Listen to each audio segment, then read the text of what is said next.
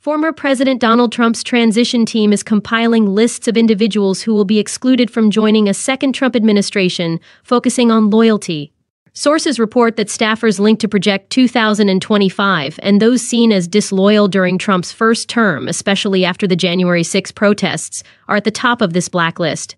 Donald Trump Jr. is at the helm, ensuring bad actors are kept out.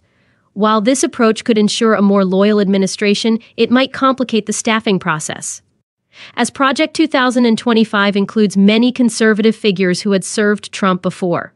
Myron Ebell, a key Trump ally, emphasized the importance of keeping anti Trump figures out, using his own Over My Dead Body list during Trump's first transition. The strategy is seen as an attempt to prevent leaks and internal conflict that plagued Trump's first term. However, it's also raising concerns about excluding experienced personnel. Key conservatives linked to Project 2025 may find themselves frozen out, limiting the pool of potential appointees. Critics question if this loyalty first approach is practical or just political.